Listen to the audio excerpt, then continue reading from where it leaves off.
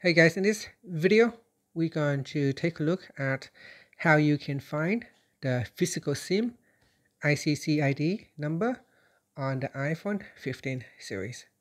First, let's go back to the home screen by swiping up at the bottom of the screen.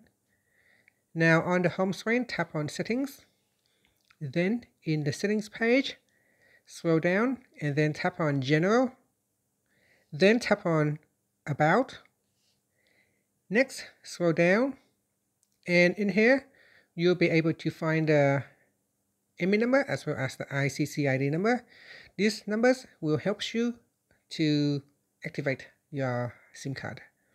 And that's it. That is how you can find the physical SIM ICC ID number on the iPhone 15 series. Finally, you can swipe up to go back to the home screen. Thank you for watching this video.